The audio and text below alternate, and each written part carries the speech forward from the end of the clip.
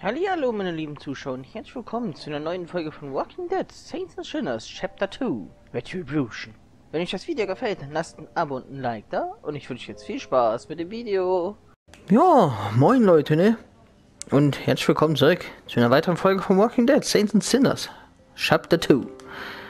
Ja, beim letzten Mal haben wir ja in das Spiel so ein bisschen reingeschaut, haben das Tutorial so gesehen überlebt. Und heute wollen wir uns unsere Hände wieder schmutzig machen. All das Blut meiner Opfer klebt an meinen Händen. Äh, ja. Wir haben letztes Mal mit dem Priester geredet. Da muss ich mich entschuldigen, dass die Leuchtfackellampen waren am Anfang davon. Die sind ein bisschen arschlaut. am liebsten würde ich mir eigentlich gerne eine mitnehmen.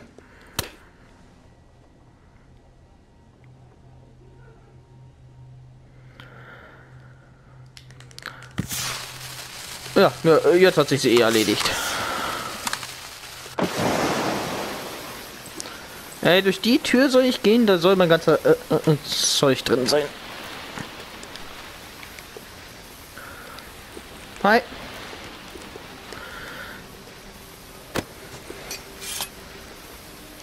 Mein Katana? Oh. Meine Schrotflinte.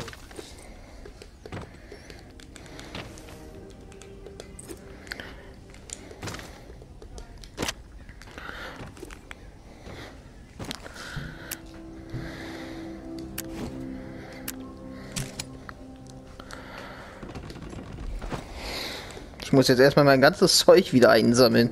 So, hat einen Moment gedauert, aber ich habe meinen ganzen Scheiß wieder eingesammelt. Es war alles noch da. Sogar mein Katana. Bin ich von da oben runtergekracht oder... Hey, da vorne kommt was.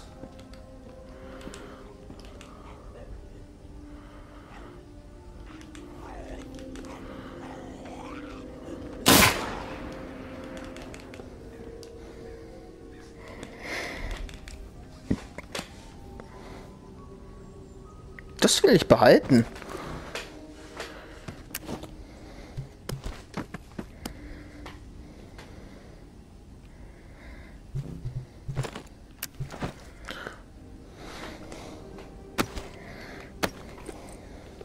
So, bevorzugt will man in diesem, diesem Spiel auf Nahkampfwaffen gehen. Das Bild kommt mir bekannt vor. Noch was, was ich behalten will.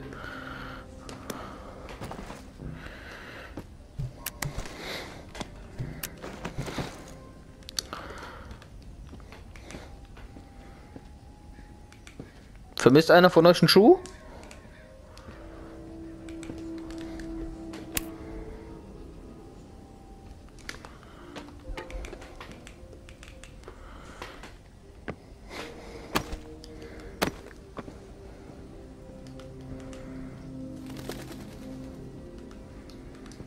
Vielleicht liegt hier noch was Schönes.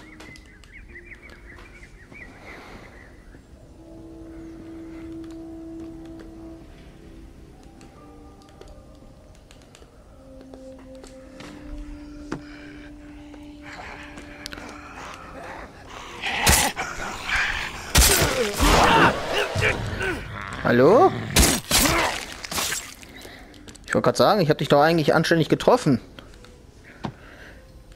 Tom Clanky, Legal Murder. Kann ich leider nicht mitnehmen.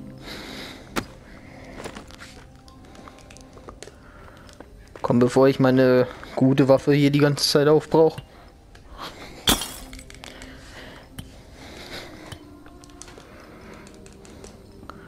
Wir müssen ein Boot finden.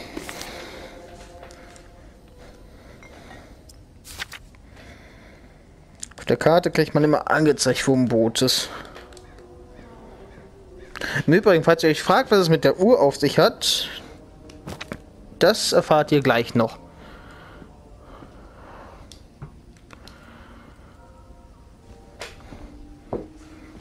So, da ist unsere Reisemöglichkeit, das kann also wieder weg.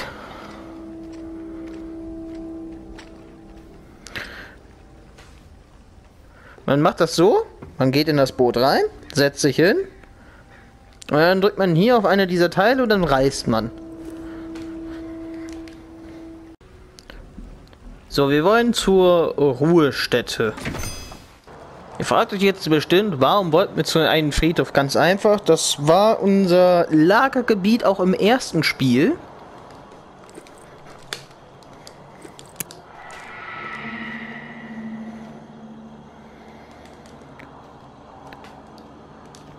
Ist so gesehen unsere Safe Zone.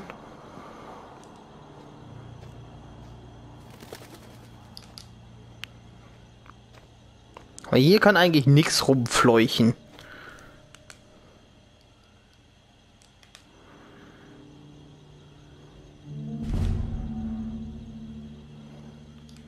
Heimkehr.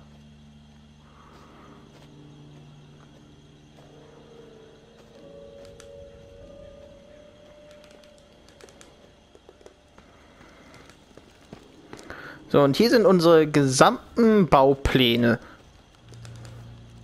Ich weiß, ist jetzt ein bisschen doof teilweise. Also der Vorteil ist, wir müssen halt die ganzen Baupläne nicht finden. Obwohl es natürlich interessant wäre, in diesem Spiel die Baupläne zu suchen, war das teilweise wirklich der größte Rotz, die zu finden. Weil die teilweise so extrem versteckt waren. Beispielsweise hier für Munition den Scheiß zu finden. Ich habe sogar noch meine Materialien vom vorherigen Spiel. So fühlt es sich wenigstens so an, als würde ich genau da weitermachen, wo ich auch aufgehört habe mit dem ersten.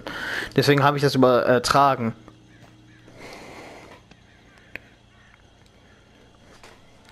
Wenn man ein Feuerzeug hat, dann kann man wirklich die Zigaretten übrigens qualmen. So, das ist mein Lager. Da kann ich sehen, was ich alles habe. Da ist mein, mein Waffenschrank. Da war vorher nicht immer offen. Den Müll, den ich jetzt mitgebracht habe, sagen wir mal, die, äh, dieses verrottete äh, Zeug hier, das kann ich einfach da reinschmeißen. Und dann kriege ich Materialien. Und in diesem Spiel ist es immer so, es ist besser selbstgemachtes äh, zu nutzen, als das, was man findet.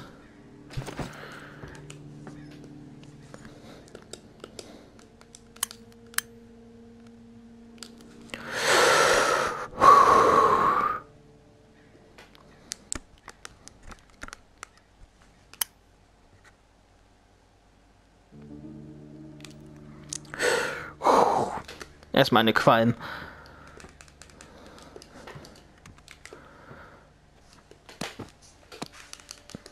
So. Für den Flair, das kommt dahin und das kommt dahin. Im Ernst, seit wann ist hier hinten offen? Beim ersten Teil war das nicht so.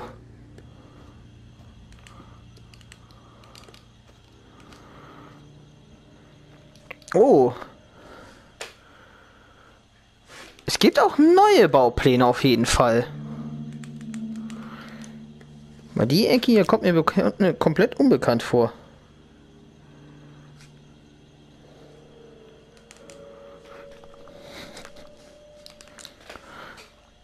Okay.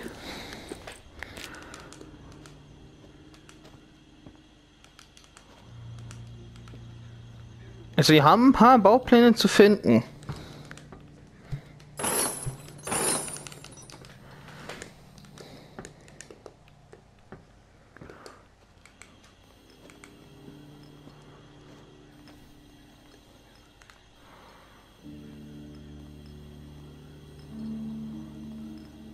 Okay.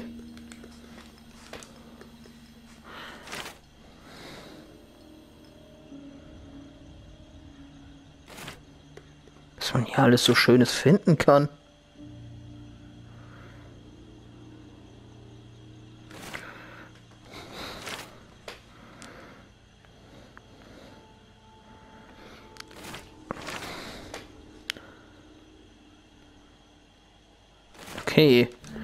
Kam ja Phosphor äh, dazu, das gab es im vorherigen Spiel gar nicht.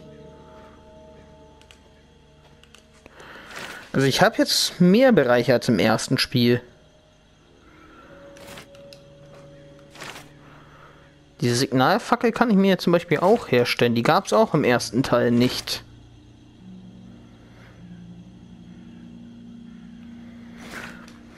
Okay, das Spiel basiert, äh, vertraut auch darauf, ein bisschen mehr darauf zu gehen, dass ich mich mit Menschen bekloppe.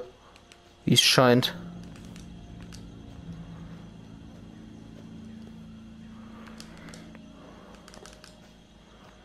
Dann schaue ich mal in die Katakomben.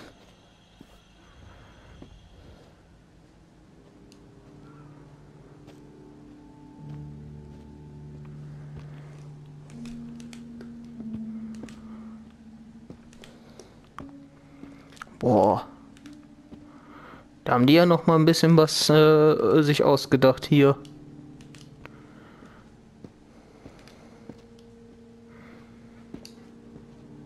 Jo. Ist ja mega viel Zeug.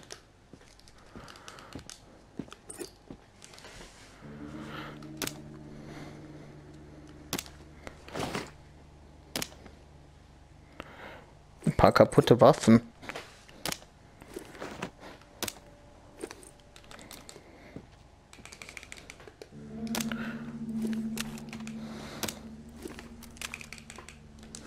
Okay, diese Sachen, äh, die beiden hier, die kann ich nicht einfach so bei mir hinten reinlegen. Ich würde sagen, das hier loote ich einfach offscreen, aber ich gucke zumindest mal mh, hm, drüber, was hier so alles rumfliegt.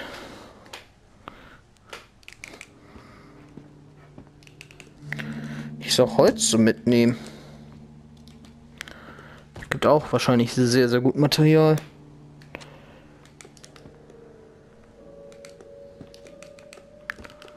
Unglaublich.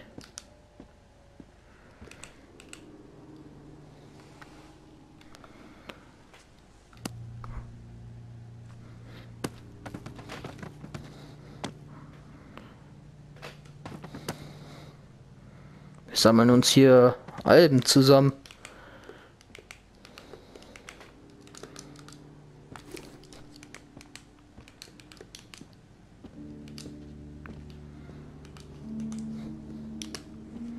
Alter, was hab ich denn hier für eine Luxusbude zusammengebastelt? Hey, kann ich spielen?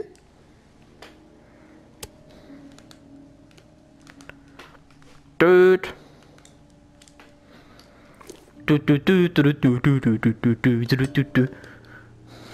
Schade, ich kann es nicht spielen. Ja, das stimmt. Kann ich wenigstens damit spielen? Dum, dum, dum, dum. Warum kann ich nicht mit dem äh, äh Instrumenten spielen? Ich brauche meinen Flachmann. Ach, jetzt habe ich mein Bett hier unten. Dann, äh, dann hole ich gleich mein Kissen hier runter. Eine Limo-Flasche.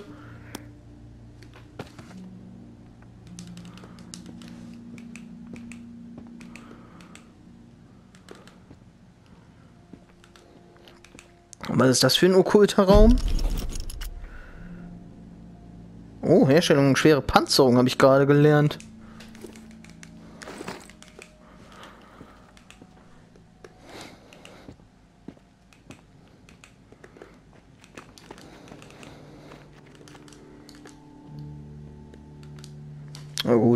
Das Zeug mit, wenn ich eh mein Kissen holen gehe. Ah, da ist der pa äh, Bauplan für schwere Panzerung. Ich kriege generell weniger Schaden durch großkalibrige Waffen. Also das habe ich generell an. So, mein Kissen ist jetzt bereit. Mein Flagmann aus, Zeit mir einen zu saufen.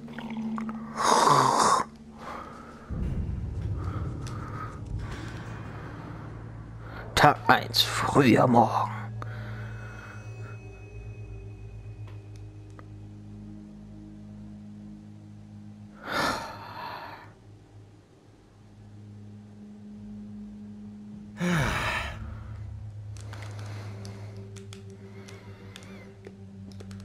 Okay, mein Tagebuch hat sich aktualisiert bei Heimkehr.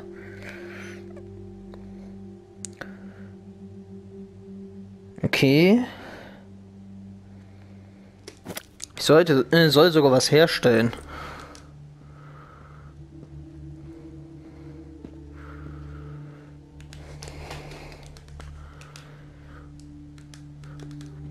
kann ich ja noch ein bisschen was von dem Müll hier unten mitnehmen, bevor ich wieder nach oben gehe.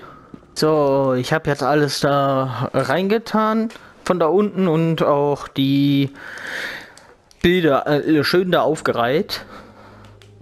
Mal gucken, was stellen wir uns denn her? Ich muss ja eine Sache auf jeden Fall herstellen. Habe ich Phosphor, dann kann ich ja mal so eine Signalfackel herstellen.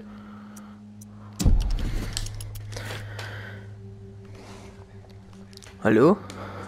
Aber ich habe es angeheftet, nicht hergestellt. So. Das ist meine nächste Mission.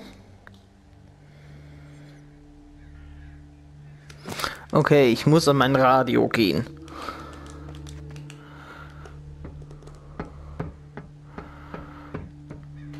Oh, ein Gratismesser.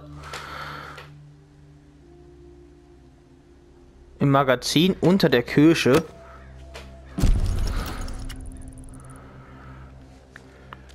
Das Magazin war der Endbereich beim vorherigen Spiel.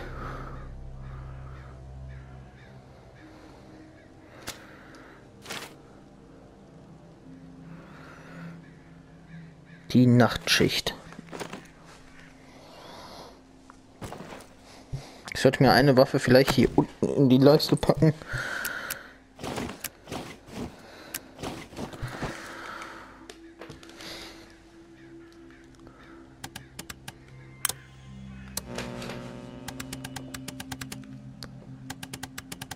Mal in die Kanäle reinhören.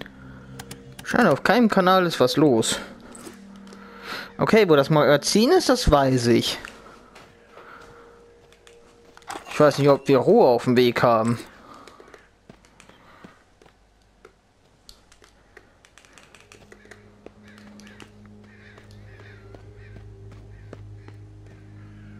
Hier konnte man eine Zielübung damals machen.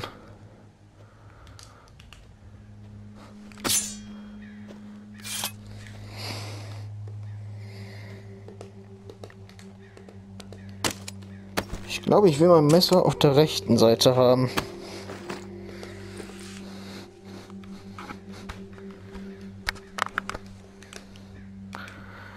Um zum Magazin zu kommen, muss ich nämlich durch den Untergrund.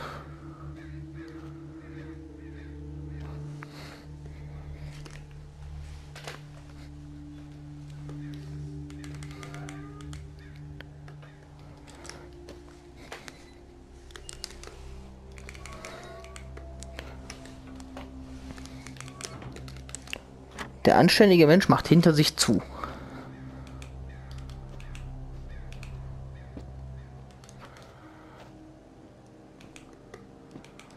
So, wenn ich das richtig in Erinnerung habe. Genau, hier runter. Cool, dass es da anfängt, wo das vorherige aufgehört hat.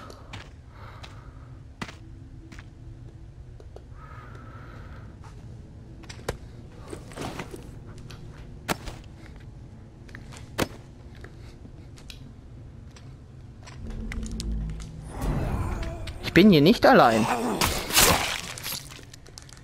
Das habe ich mir schon gedacht. Schmeckt mein Messer.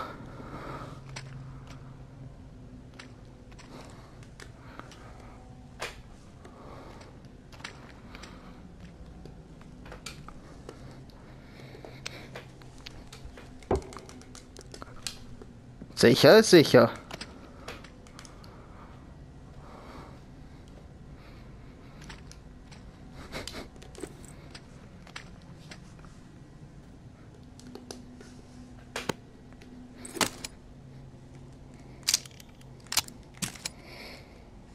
Oh, ich sehe gerade was.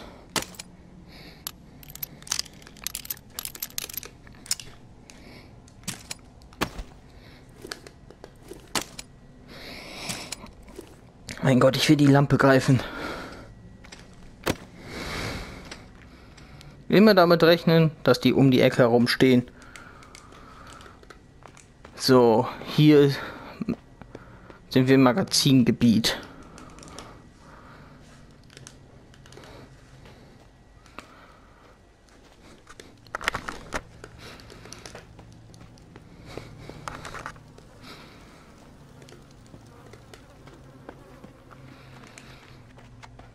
Nämlich dort. Beim vorherigen Spiel war es gegen Ende eine richtige Schlacht hier. Da kamen alle Fraktionen hier zusammen und haben sich richtig bekriecht.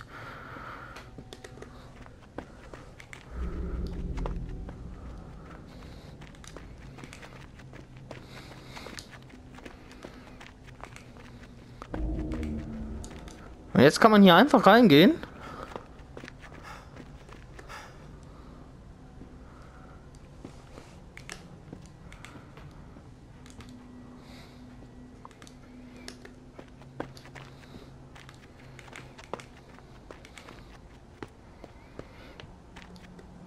Hallo?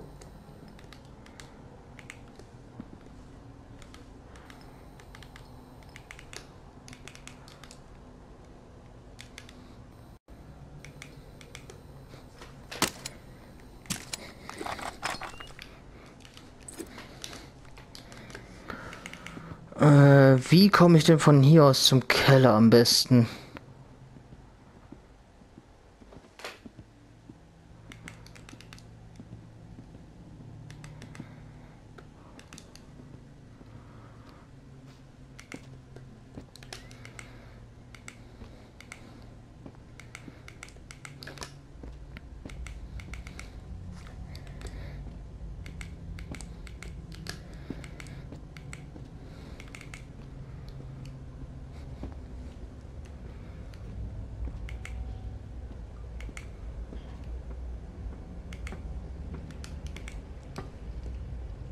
Hallöchen.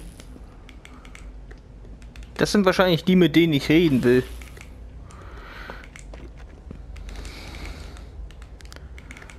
Ist der eine Bereich immer noch geflutet?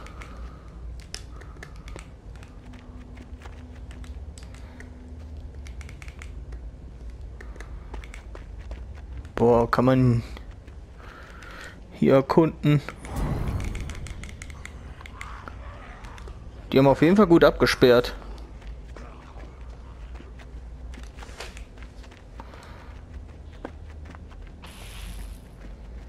Na gut, ich weiß ja, ich will zu denen hier. Welcome to the Revolution, tourist. I'm Sable. This is Echo. Barnes is there in the back. Hallo. Warte mal, ich gehe ein bisschen näher ran. Mit so vielen Leuten hatte ich nicht gerechnet. I couldn't go into details in the note I left. It's all about security. Just meeting with you here is a huge risk for us. Let me explain. We represent a growing faction inside the tower. People fed up with the current leadership. If Nola's gonna remain habitable, the time's come for a change at the top. Geht's dem Jungen gut? Der wird mir ein bisschen aufgeregt.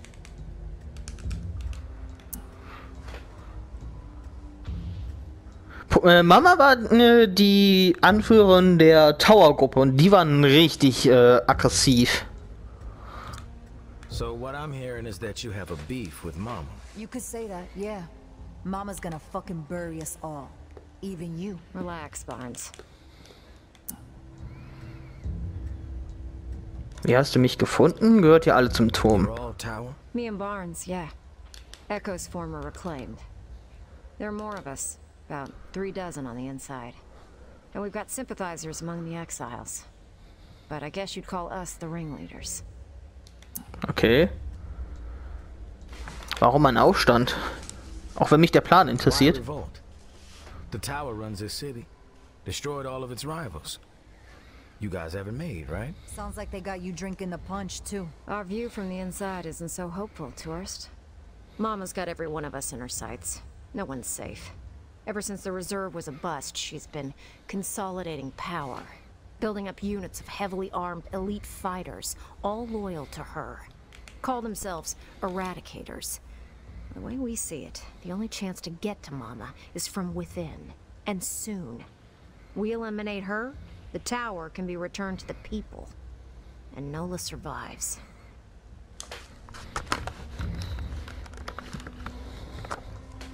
So, ich muss mal eben kurz meinen Jahresset mal ausrichten. Was hat man mal vor? something big. You thought the war with the Reclaimed was a disaster for Nola. That's nothing compared to what she's prepping for now. Fortifying the tower into an impenetrable fortress.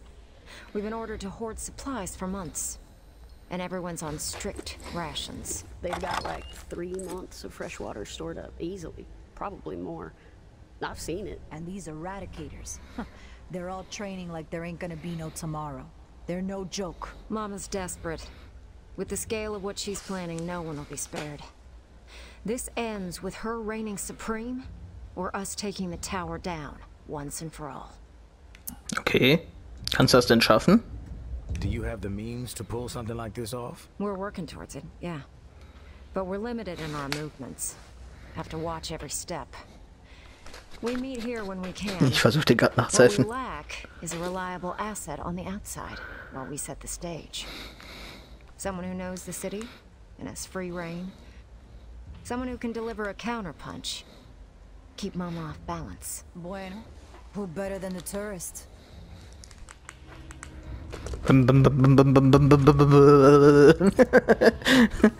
da gibt's den richtig.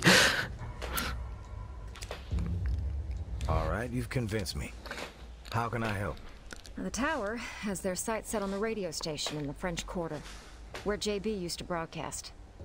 We think Mama's planning to use the station to flood the airwaves with propaganda. She's already papering the whole city with her old town conspiracies. They're gonna make their move on the radio station, soon. Real soon. A daytime operation. We stop Mama from taking the radio station, we slow down the spread of her lies. And instead, we give the people what they really want to hear. A new take on an old classic. Here. Hm? It's JB's last sermon. Hasn't been broadcast yet. Echo found it in an abandoned, reclaimed base. It's a real firestorm, too. Never heard JB like this. Out for blood. We need you to stop the tower from taking over the station. And get JB's last hurrah on the air. Propaganda gegen Propaganda? Mama ärgern. Fighting propaganda with propaganda? If the tower controls all the information out there, we don't have a chance. If we want to inspire an uprising, we can't have Mama polluting the airwaves with bullshit. We get the exiles behind us, then we strike. Barnes is gonna go ahead of you. See what intel she can gather about access to the station. But she can't be seen. I'll leave you a present in Bird Lounge, down the street from the station. Before you go, we need a reliable way to communicate. Timing's key, so passing notes ain't gonna cut it. Echo?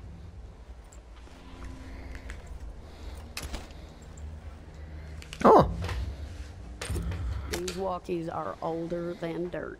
Broken, pretty much. No voice capabilities. But I figured out how to get the alert signal to work. I'll reach out to you on the walkie when we need to meet. But you have to beep us back to let us know you're coming. Otherwise, we won't be around. You better get going. We need to roll out soon. Don't forget to grab that beta from Barnes at Bird Lounge. She knows how to exploit the enemy's weakness. okay.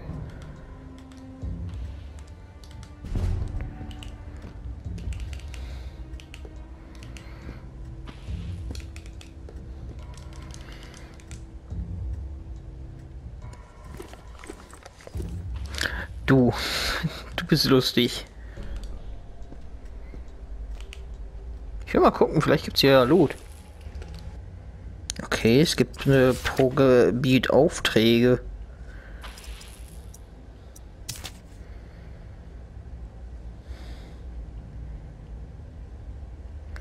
Ja, Casey, ne? Casey war der Typ, den wir im ersten Teil halt gerettet haben.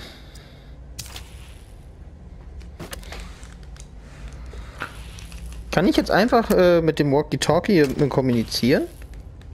Hallo?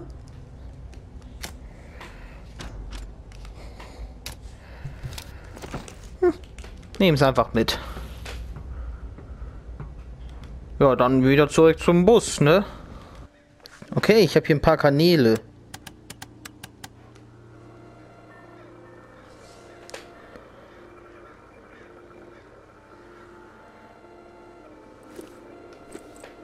Irgendwas ist damit wahrscheinlich. Auf 47 kann man äh, abhören, was die machen wollen.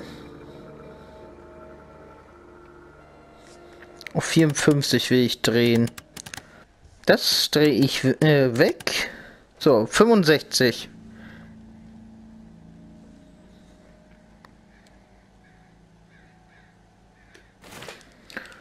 Müssen warten, bis da was reinkommt. Okay, dann machen wir uns noch eben kurz was zu äh, verbampfen.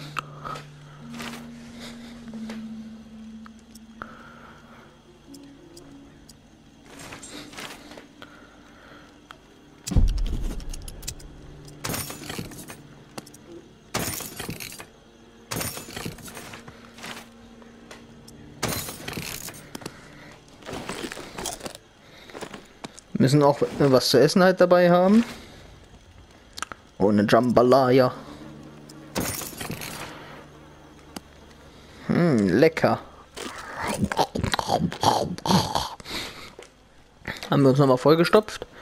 Äh, ja, das äh, richtige Losziehen, also in die weite Ferne würde ich sagen, machen wir beim nächsten Mal. Hier seht ihr übrigens, wie ich das Zeug jetzt aufgestapelt habe. Ein paar schöne Erinnerungen. Das sind auch immer schöne Erinnerungen.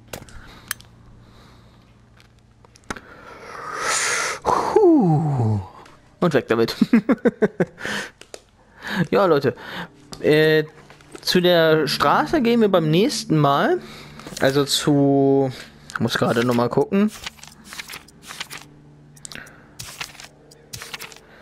Zur Bourbon Street.